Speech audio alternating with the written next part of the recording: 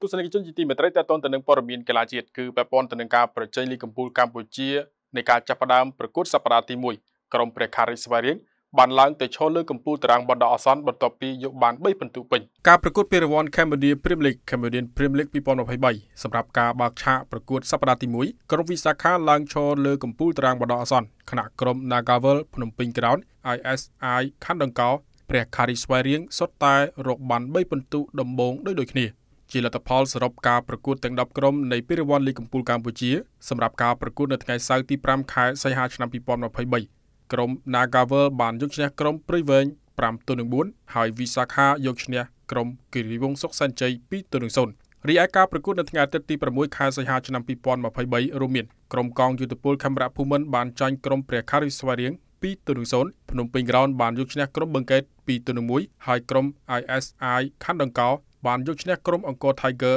1ទៅនឹង0